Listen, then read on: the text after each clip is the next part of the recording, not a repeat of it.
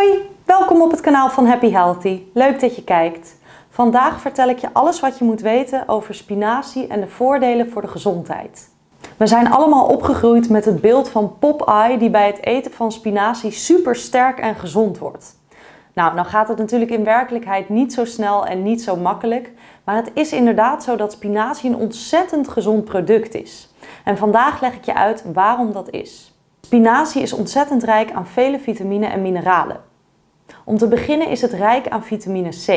En vitamine C is belangrijk in het ondersteunen van ons immuunsysteem. Daarnaast is het ook rijk aan plantaardig ijzer. Nou, plantaardig ijzer wordt minder goed opgenomen door ons lichaam dan dierlijk ijzer. Maar voor vegetariërs is het wel de enige natuurlijke bron van ijzer die we binnenkrijgen.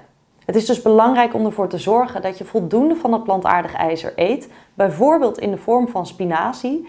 En combineer dat dan met een vorm van vitamine C. Want vitamine C zorgt ervoor dat ijzer beter wordt opgenomen in je lichaam. En laat spinazie nou rijk zijn aan zowel vitamine C als aan ijzer. En dus is het een hele prettige bron van plantaardig ijzer voor ons lichaam.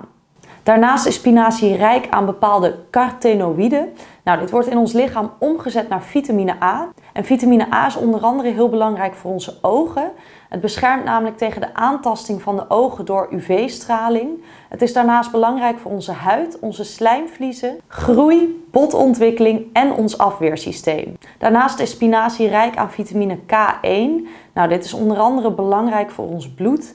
En één spinazieblad bevat al de helft van onze dagelijkse behoefte aan vitamine K1. Daarnaast is het ook rijk aan foliumzuur, wat belangrijk is voor het bouwen van gezonde cellen. En zeker voor vrouwen die zwanger zijn is het extra belangrijk om daar voldoende van binnen te krijgen. Spinazie kan daar dus een mooie bijdrage aan leveren. Nou, daarnaast is spinazie zeker voor een plantaardige bron redelijk rijk aan calcium. En calcium, dat zal je misschien wel weten, is belangrijk voor gezonde en sterke botten. En zeker in combinatie met die vitamine K, die ook heel belangrijk is voor botten, is dat dus een mooie bron om je botten te ondersteunen. Nou, daarnaast niet onbelangrijk om te benoemen is dat spinazie een hele prettige groente is om gebruik van te maken wanneer je probeert af te vallen. Het is namelijk laag in calorieën, maar vult gemiddeld redelijk goed, omdat het toch aardig wat vezels bevat. En dat zorgt ervoor dat je sneller en langer vol zit. Spinazie is heel veelzijdig om te gebruiken. Je kan het roerbakken, je kan het bijvoorbeeld verwerken in pasta sauzen. Je kan het in je smoothie doen en geloof me op mijn woord, je proeft het echt niet als het in je smoothie zit. En je kan het bijvoorbeeld ook gebruiken als een vorm van sla in een salade. Kortom, het is heel veelzijdig en ontzettend gezond voor je. Zorg ervoor dat je biologische bladspinazie koopt als je het vers koopt. Want spinazie wordt met aardig wat bestrijdingsmiddelen bespoten om het goed te houden. Dus ik raad het altijd aan als je het kan betalen om de biologische variant te kopen.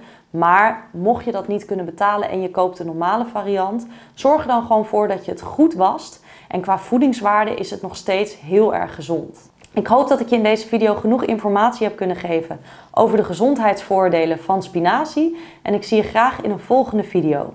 Doeg!